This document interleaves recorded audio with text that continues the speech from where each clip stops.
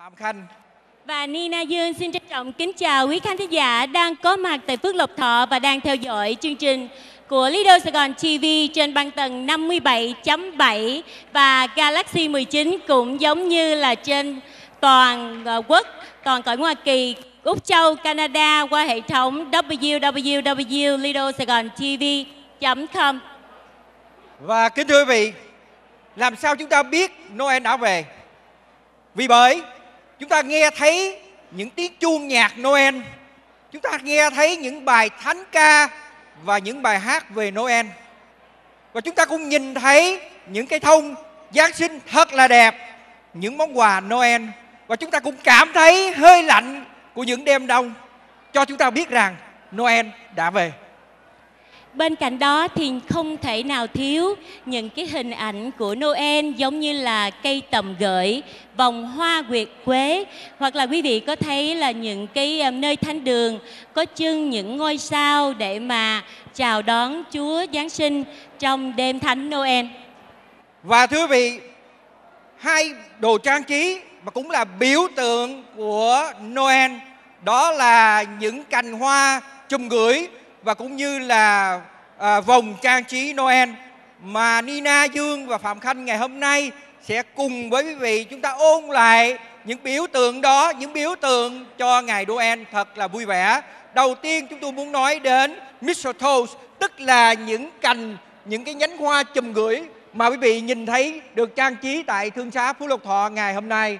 Xin mời Nina. Nói đến cây à, tầm gửi thì quý vị cũng nghe cái tên đã biết là thân phận được nương nhờ vào những cây thông, cây sồi. Mà cây tầm gửi, à, tầm gửi bên cạnh đó anh là nói là cái ý nghĩa là một cái thân phận gửi trao. Nhưng thật chất ra nếu mà quý vị à, tìm hiểu kỹ hơn thì à, cây tầm gửi là một ý nghĩa rất là đẹp, mang tượng trưng cho biểu tượng tình yêu mà nói tới tình yêu thì à, nhắc lại những cái thời à, xa xưa, thì khi mà bắt đầu có những cái bộ lạc, những à, đấu, chiến tranh với nhau, thì khi mà chỉ cần nhìn thấy cái hình ảnh của dây tầm gửi, thì lập tức phải ngưng bắn, ngưng chiến tranh. Bởi vì những cái hình ảnh tốt đẹp đó, nên thành ra cây tầm gửi cũng là một cái nơi một cái biểu tượng cho tình yêu. Nếu mà đôi trai gái hôn nhau dưới nhánh cây tầm gợi thì cái tình yêu đó sẽ được chúc phúc và sẽ được hạnh phúc mãi mãi. Wow, à, một cái truyền thuyết rất là hay về cái mistletoe cũng như là những cái à, cành cây chùm gửi đó. Và chính vì lẽ đó mà theo truyền thống từ ngàn xưa tới giờ à, thì người ta đã treo và trang trí à, những cái nhánh những cái cành à, cây chùm gửi trong suốt của nhà của mình đặc biệt ờ, là ở những cái ờ, bầu cửa ra vào hoặc là gian bếp, những nơi mà những người trong gia đình đi lại và có thể gặp nhau. Và người ta tin rằng thì là mỗi lần mà gặp nhau dưới những cái cành cây chùm gửi như vậy thì người ta sẽ trao nhau những nụ hôn. Đó cũng là cái truyền thuyết ngày xưa mà người ta giữ được đến ngày hôm nay. Và chúng ta cũng tìm hiểu để thấy những cái ý nghĩa tốt đẹp của nó. Bên cạnh đó thì à, cũng theo thông lệ Lido Sài Gòn TV lúc nào cũng cùng chung cộng tay cộng tác với cộng đồng Việt Nam của chúng ta đem đến những niềm vui cho cộng đồng, cho các em thiếu nhi, nhất là trong mùa lễ Giáng sinh. Và à, một trong những à, điệu dance mà các em thiếu nhi rất là thích là hip hop dance. Hip hop dance là là một trong những cái điệu nhảy rất là gần với xã hội và để giới thiệu cho quý vị một điệu nhảy rất là dễ thương đến từ PD2 Dance. Xin kính mời quý vị hãy xem phần trình diễn qua bài Christmas Hip Hop Dance. Xin quý vị cho một tràng pháo tay thật lớn.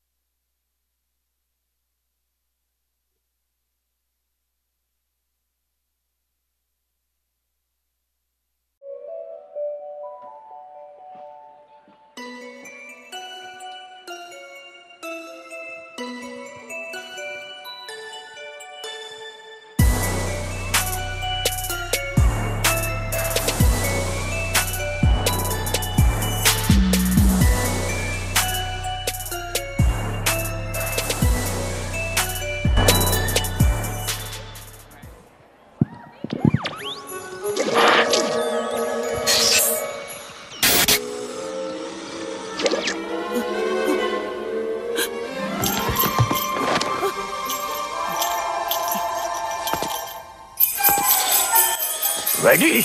One, two, three.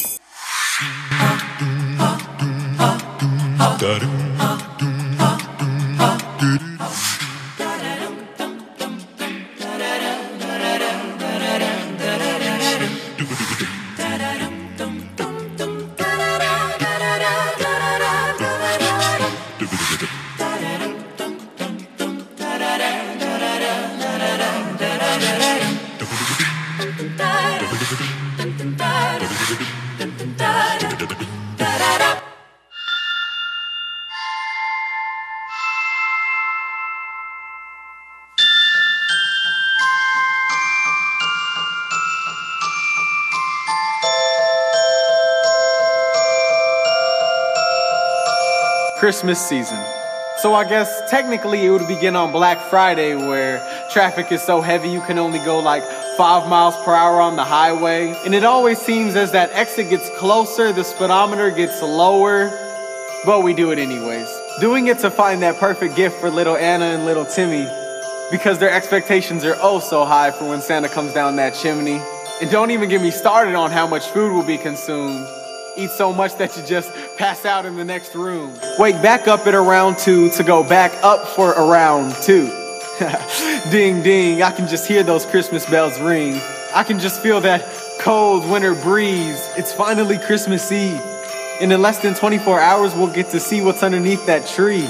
The kids are running around with joy and glee. But while ripping open presents as happy as can be, let's not forget the man who gives us happiness for eternity.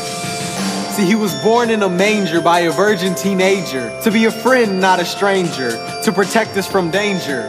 Meanwhile, three wise men could see from afar a shining light that would soon be their guiding star. Under this star, a boy named Jesus would be born. Born unto all men to free us all from sin, we're free. Free to live, free to have true joy and laughter.